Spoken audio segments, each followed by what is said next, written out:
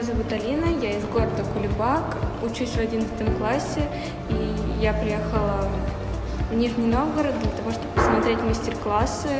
Мне очень понравилось, и это больше придает стимул поступить сюда.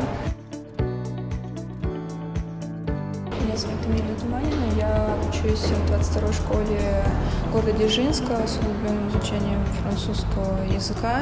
И я планирую поступать сюда на перевод и переводоведение, потому что мне очень нравится этот университет. Здесь очень хорошо преподают, э, дают э, очень хорошие знания, поэтому мой выбор останавливается только на этом университете.